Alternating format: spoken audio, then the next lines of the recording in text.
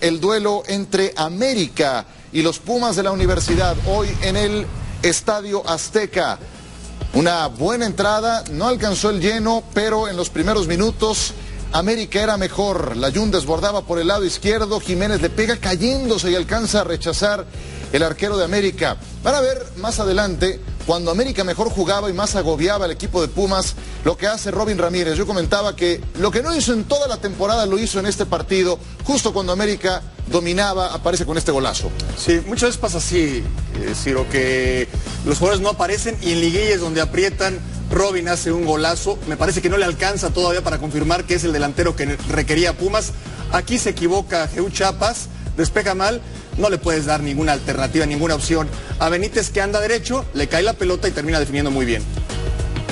Se quejaban de fuera de lugar, pero no. En, en la segunda jugada que hace Aquivaldo Mosquera, le entrega la pelota a Benítez, ya nos explicará Felipe, pero parece que no hay fuera de lugar. Reclamaban mucho en redes sociales la, la afición, sobre todo de Pumas. Este es increíble. Es increíble, bueno. Es increíble. Antes de esto, la Jun había tenido un mano a mano con Moisés Muñoz. Este es un paradón, ese es clave en el partido. Es extraordinaria. Y ya sobre el final, la anotación de Benítez. Yo mencionaba, América termina por ser justo semifinalista, yo creo, ya me dirán ustedes su punto de vista, pero su manejo de juego en el segundo tiempo creo que deja sí, mucho se echó que desear. muy para atrás. Los últimos 20, 30 minutos, los, los cambios cambios.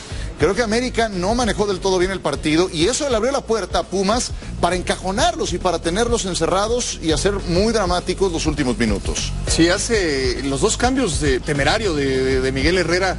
Retirar a Jiménez y retirar a Zambuesa, sus mejores hombres. ataque. Y de verdad es, totalmente un eh, mensaje de que te vas a echar para atrás.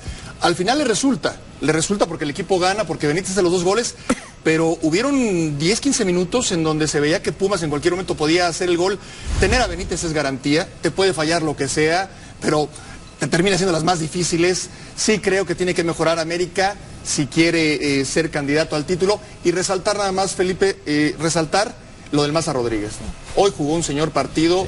El, contratas al Maza para que en liguilla responda, ¿no? Para mí fue la mejor contratación del torneo, hoy lo confirmo. Oye, Paco, lo de Zambuesa no viene derivado de la amonestación. Sí, claro, Sobre todo sabiendo riesgo. que tienes a Marco Rodríguez adentro y que, que saben que no les perdona una sola. Entonces, a mí me parece que Miguel se va más por esa parte para sacarlo que por una cuestión Pero tienes a táctica. Osvaldo, pero tienes a Osvaldo y tienes a sí, sí, sí. Yo no Sí, creo. te metes al drete que- y te hace para atrás el equipo. Y es un riesgo.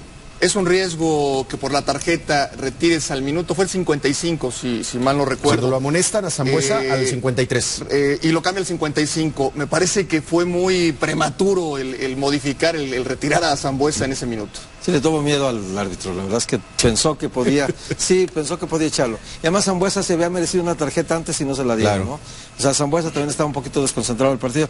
Quedó demostrado también que el poderío de dos jugadores como Jiménez o como Cristian Benítez pesan muchísimo en una liguilla que se resuelve a goles.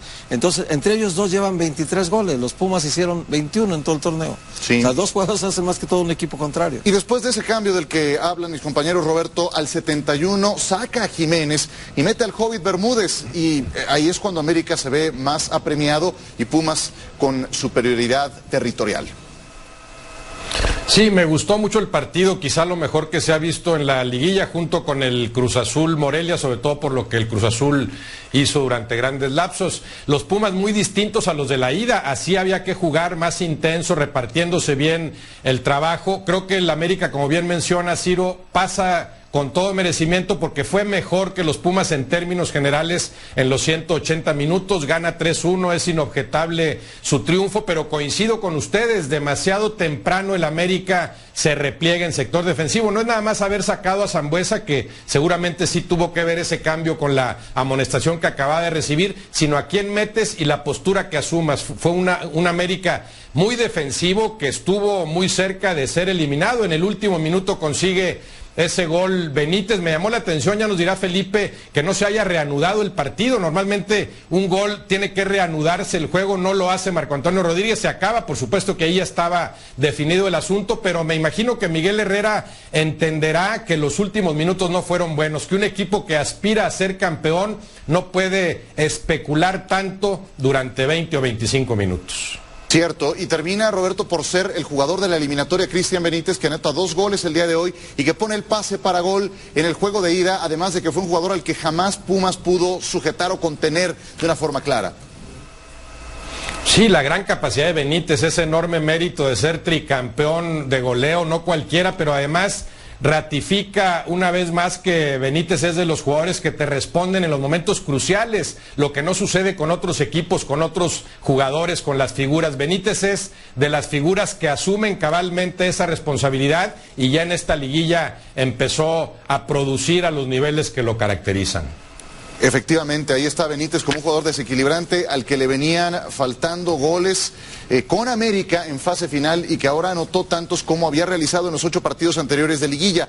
Eh, Felipe, al margen de que en el siguiente bloque veamos a fondo tu sección arbitral con lo que fue el trabajo de Marco Rodríguez, de lo que preguntaba concretamente Roberto, de que no hubo reanudación pese a que quedaban algunos minutos, algunos segundos del último minuto, ¿qué opinas? No, no hay problema, él lo puede terminar en ese momento, el árbitro si decide que para él en su reloj se ha terminado, ha finalizado el tiempo que él iba a añadir, ahí puede finalizar, no hay necesidad de que reanude.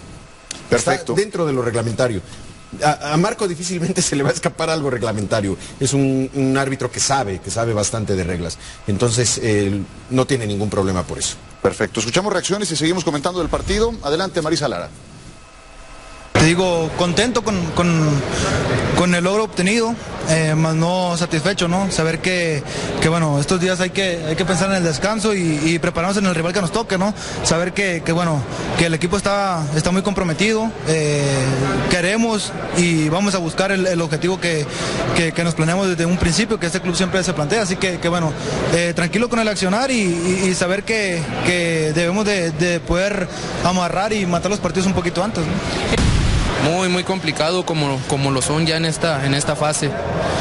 Creo que Pumas fue un, rival muy digno, muy, muy difícil, muy complicado. La verdad, te, somos muy sinceros, la verdad que nosotros desde el partido del miércoles, por más de que se haya hecho un buen partido y se haya sacado un resultado a favor, sabíamos que hoy no iba a ser nada fácil. aparte de, de tener el ingrediente extra de ser un clásico, lo que se jugaba, todo o nada hoy en este partido, pues creo que que así se demostró dentro de la cancha, los dos equipos nos entregamos, pero bueno, al final nos vamos con un resultado a favor y la verdad nos, nos da mucha motivación para lo que viene. Eh, nosotros sabíamos que iba a ser un partido difícil, que como habíamos ganado el primero de visitante, ellos iban a venir a buscar el, partido acá en casa de nosotros. Fue así, me parece que, fue un partido lindo para la afición, un partido abierto, que, bueno, gracias a Dios pudimos sacar nosotros adelante.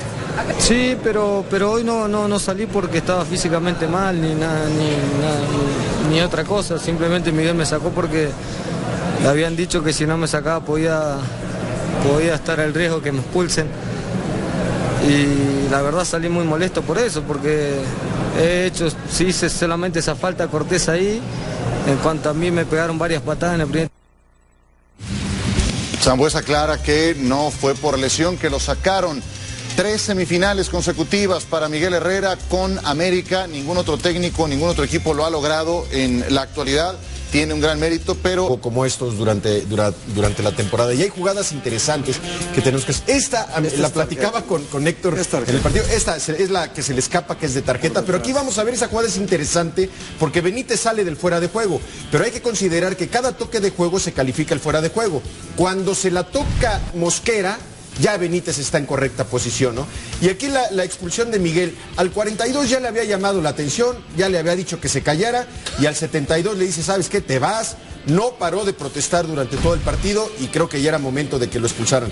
Esto hay que resaltarlo porque un árbitro que va a una Copa del Mundo pierde totalmente su diagonal por estar cerca de las jugadas y eso es algo que hizo muy bien Marco. No le interesó su diagonal, se metió muy bien para estar cerca de la jugada y este control pocos árbitros lo tienen. O sea, el que se mete y se para, ahí acabó con todo ese problema. Sabes que es Marco. Sabes que es Marco, claro. por supuesto. Entonces, charolea, tira, charolea, charolea, digo. Y vámonos, y vámonos. Entonces, tranquilizó muy bien el, partido. A mí en lo particular me gustó mucho su trabajo. Muy bien, pues es, un, es una gran noticia porque seguramente lo veremos en las semifinales de vuelta. Seguramente. Semifinales de vuelta. por supuesto. Perfecto. Eh, antes de cambiar de tema, Roberto, ¿algo más que tengas en el tintero? Nada más que los Pumas tienen una temporada acorde a lo que era su potencial y el América ha recuperado gran parte de su nivel, pero estará consciente de que tiene que elevarlo si piensa pelear por el título. Es una América que está cediendo demasiado la iniciativa en el medio campo. Tiene que aprender a tener más la pelota en esa zona, sobre todo jugando en la cancha del Estadio Azteca. Sí, de acuerdo. Miguel Herrera no se presentó a la conferencia de prensa posterior por la expulsión. Yo no sé si eso te, excluya de, la obligación de ir, pero hubiera sido eh, interesante escuchar sus puntos de vista de por qué los cambios, de si se quedó satisfecho con el rendimiento del equipo, siendo que es alguien exigente también en cómo se desempeña su Quizás estaba caliente y decidieron que mejor no fuera la conferencia. Yo me quedo con su trabajo. A ustedes, Ciro, Héctor, que tienen todos los datos siempre precisos. ¿Hace cuánto que un técnico del América no calificaba tres liguillas de forma consecutiva. No, pues mucho tiempo. mucho Un gran trabajo de Miguel Herrera. Él, podrá sacar su lista como Mourinho. En eh, los últimos 18 nadie va a pasar tres, a tres semifinales como Mourinho en la Champions. Pues mira, nos metiste un gol de medio campo, pero no a nuestro eh, compañero de, de, investigación, Manuel Samano. 89-90 la última vez que esto ocurrió y fue en torneos largos. Fue en torneos largos. Una América... señor Vieira, ¿no? Seguramente con Jorge Vieira y con otra directiva, etcétera. Otro América, otro América, donde llegar a semifinales no era suficiente.